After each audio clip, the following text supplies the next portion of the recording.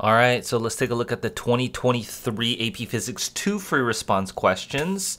Um, the solutions aren't out, so if I have any corrections, I will put it as a pinned comment in the, the video here. So let's take a look. A rectangular tank with a mirrored bottom is filled with water, index of refraction NW. A beam of light passes from air into the water at angle theta I from the normal, shown in the figure. Index of refraction NW is greater than the index of refraction of NA. On the following diagram, sketch the entire path of the beam as it enters travels through, and then exits the water. Okay, so index of refraction is greater. That means light's going to slow down. And by slowing down, it will bend more towards the normal. That is just sort of what's going to happen. So this angle here is going to be smaller than the incident angle. So it's going to do something like that. Okay. And then after it bends there, it's then going to bend out. It's going to hit air again. It's going to bend at the same angle it kind of came in. So I should pick another line that's kind of like, kind of, oops. Is that right? Uh, no, probably not exactly. Probably a little bit, you know, it should be roughly similar. Oh, now I'm just being picky. Okay, roughly similar angle as like it came in at. Because now it's in air, so it's going to go at the same angle as it was originally. Just because there's no there's no change in these surfaces. They're all flat. Okay, so it should look something like that. Sugar is then added into the water, resulting in a mixture of different index of refraction than water. A student considers two models, Model A and Model B, for how the sugar mixes with water. The models are shown in Figure 2. Model A, the sugar is uniformly mixed throughout the water, resulting in a mixture with index of refraction Nm that is bigger than N water. So if you increase the index of refraction more. Model B, layers are formed. Okay, the three distinct layers of equal volume. Top layer is NW. Then the middle layer has the concentration mix A and M, and the bottom layer has the highest concentration NB. Consider model A briefly describe how the observed wavelength of the light changes. So remember, when we enter a medium, okay, what happens is the speed of light slows down, but the frequency doesn't change, okay?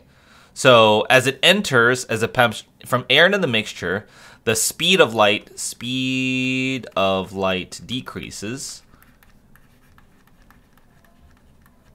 because the index of refraction is greater.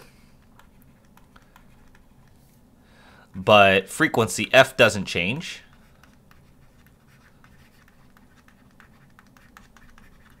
And so by this formula, that implies the wavelength decreases. Okay. Right? Because the frequency doesn't change when it enters, but the speed of light decreases, so the wavelength, therefore, decreases. Okay, relevant angles between the beam and the normal various lasers are present models A and B. Incident angle in the air. Theta 1 is it makes it with the normal. Theta i, theta 2, theta 3, theta 4. Uh, okay, so it's just like all the different angles there. Determine expression for theta 4 in terms of theta i, na, and nb. Okay? So if you look at theta 4, what, what you're going to think about, and this is what's going to happen in here, is like the angle here through this, like like it's going to be sine Snell's law. You're going to say NA sine theta i is equal to, say, NW sine theta 1, right? But then that angle is going to match the angle there, so then you're going to have NW sine theta 1 equals NM sine of theta, you know, say 2. Okay, this one here. Oh, actually, what what is it? It's not, it, sorry, it's 2 and 3 and 4. Sorry. So it's 2 and 3 and 4. Because this one is 2. This one here is theta 1. This is theta 1. This is theta 2. This is theta 3, theta 4. So theta 2, theta 2, theta 3. And then, again, it, it goes through this one, and, and you have a similar thing. Nm sine theta 3 is going to equal Nb sine of theta 4. Okay, so all of them are related, so therefore this just equals that one. Na sine theta i. Na sine theta i is equal to NB sine of theta 4. So you can just do, you can divide the NB over here and then do inverse sine. Inverse of theta 4 is going to be inverse sine of NA sine of theta i over NB. That's Snell's law there. Rank the angles from greatest to least with one being the greatest. If two angles are the same value, give them the same ranking. Okay, so now, um, basically every time the index of refraction increases, sorry, every time the you go through a higher index of refraction, the angle is going to ultimately get smaller, right? Like it's going to shrink and then it's going to shrink and then shrink. The, like the, the greater the index of refraction is going to be. So you're always going to be constantly decreasing the angles. Okay, so if you look at this one, this one is just ni sine theta i, or na sine theta i, equals nm sine theta 1. So these are always going to get bigger. So the question is, is how does theta 1 compare to these guys, right? Because this is just always going to get bigger because as you increase the angle, it's just going to get a, a, smaller and smaller angle.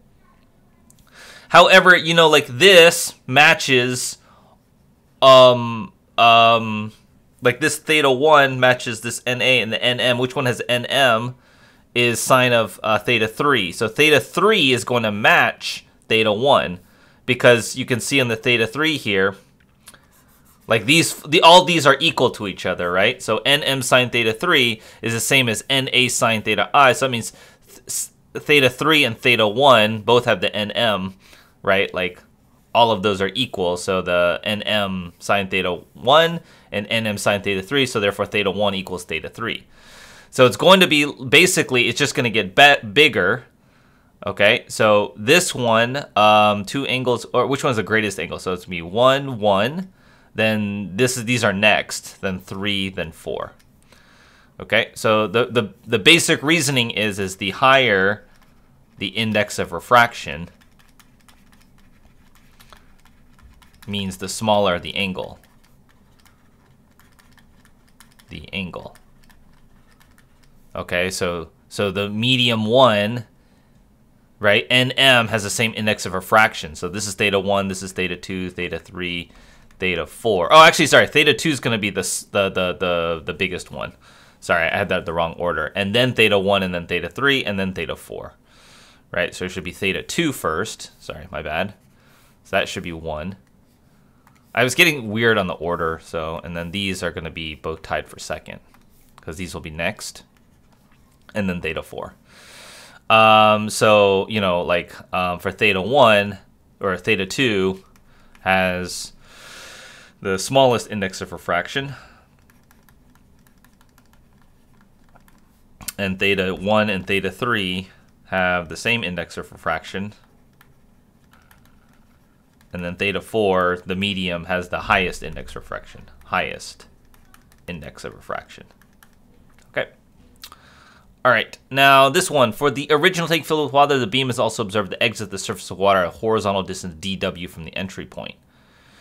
Okay, so this original tank, it's going to exit, sorry, exit the surface of the water.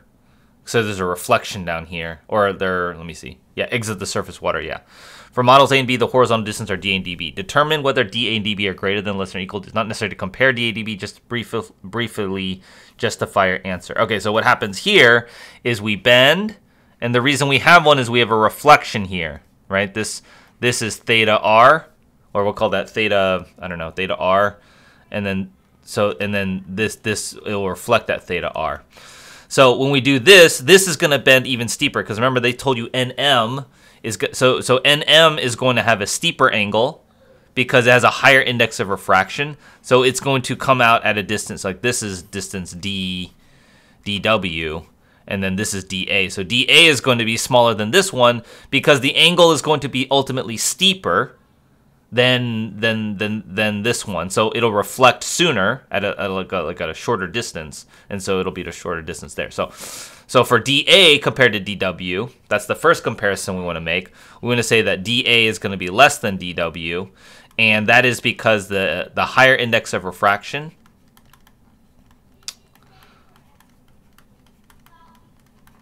implies that the light will bend bends more sharply. So the reflection occurs a reflection bounces closer closer. Okay?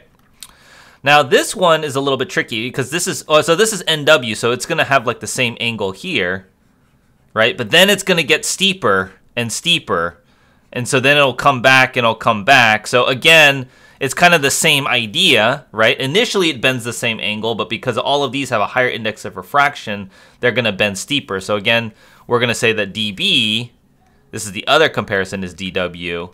And it's almost a similar reasoning. It's again because um, NM and NB have higher index of refractions.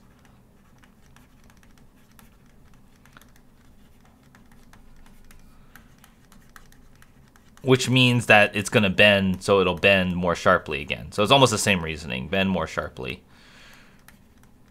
You could just probably combine those reasonings together into a single argument, but basically it's going to bend more sharply, and so it's going to come out sooner than the original one there. Okay, but the key thing is talk about the index of refraction and the fact that it's going to bounce a little bit faster there.